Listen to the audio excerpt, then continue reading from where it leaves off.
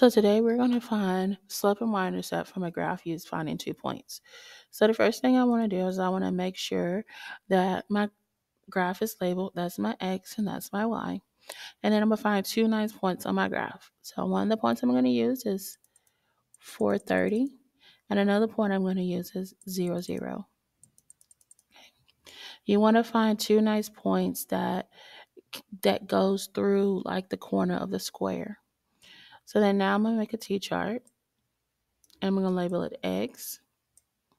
And I'm going to put in parentheses L1 because this is what's going to help you when you get ready to put it into the calculator.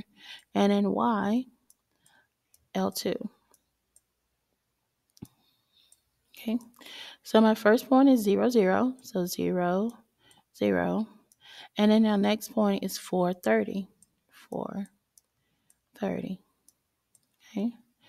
Once I have my t-chart made, next thing I'm to do is I'm to get my calculator and I'm to look at it and then I'm to hit stat and you come up with something that looks like this. You're just to hit enter and all my x values is to go in L1 and all my y values are to go in L2.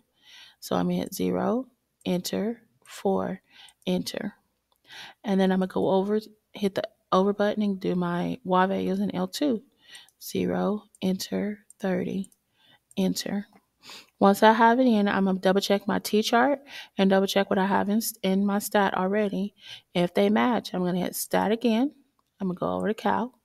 I'm going to hit the number 4. And then I'm going to enter all the way down until I get something that looks like this. So A in your calculator is your slope. B in your calculator is your y-intercept.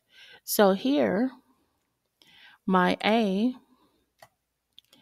is 7.5 and my B is 0.